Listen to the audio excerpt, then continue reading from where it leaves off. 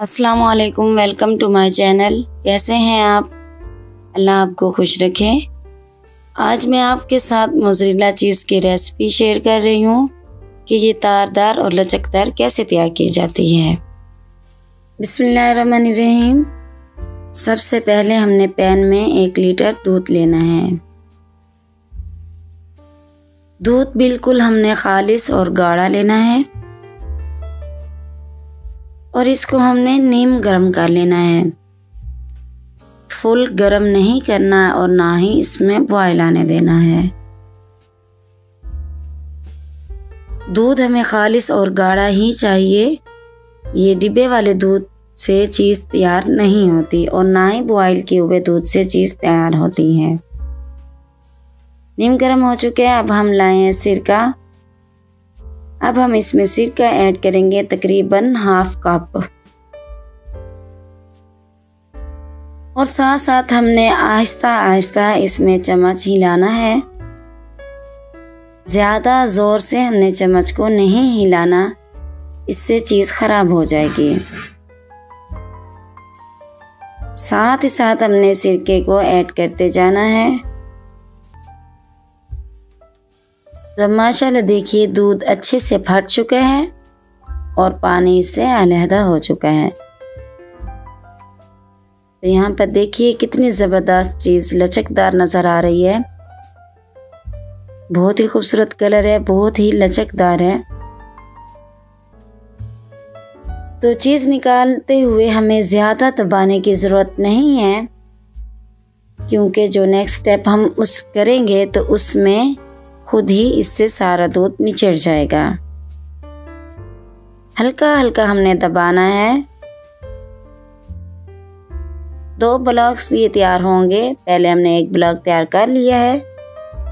और साथ ही अब हम दूसरा ब्लॉक तैयार करेंगे और आहिस्ता आहिस्ता दबाकर अलहदा से एक बर्तन में रख देंगे। अब चलते हैं नेक्स्ट स्टेप की तरफ़। तो यहाँ पर मैंने पैन में पानी लिया है और पानी को हमने गर्म कर लेना है। नीम गरम से थोड़ा सा हमने ज़्यादा गरम करना है, बहुत ज़्यादा गरम नहीं करना। और ये जो चीज़ है, इसका मैंने एक ही ब्लॉक तैयार कर लिया है। पेड़ा नुमा ये तैयार हो चुकी है, अब हमने इसको इस पानी में चार से पाँच मिनट के लिए रख देना है। साथ ही साथ इसको हिलाते रहना है। इससे ये होगा कि जो दूध होगा चीज़ से, वो खुद ही निचड़ जाएगा। अब हमने करना ये है कि हमने इसमें वन टेबल स्पून नमक ऐड कर देना है। नमक इसलिए हम ऐड करेंगे क्योंकि जो हमने इसमें सिरका ऐड किया है तो इससे ये जो सिरके का खट्टापन होगा, वो भी दूर हो जाएगा और इससे चीज़ में लचक बहुत ही ज़बरदस्त आती है। चार से पाँच मिनट के लिए हमने इसको रखना है। अब देखिए, चार से पाँच मिनट के बाद हमने इसको हल्का सा दबाना है और हो चुके हैं। अब हम इसको एक प्लेट में रख रहे हैं।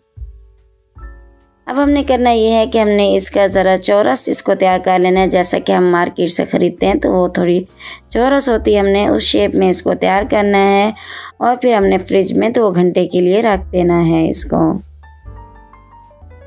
दो घंटे गुजर चुके हैं मैंने फ्रिज से चीज़ को निकाल लिया है। तो माशाल्लाह बहुत ही ज़बरदस्त तैयार हुई है। अब हम इसका टेस्ट करते हैं, स्लाइस तैयार करते हैं और फिर चेक करते हैं कि ये कैसी तैयार हुई है। बिस्मिल्लाहिर्रहमानिर्रहीम। तब मैं इसके स्लाइस तैयार कर रही हूँ और आपने तवज्जो से देखना है।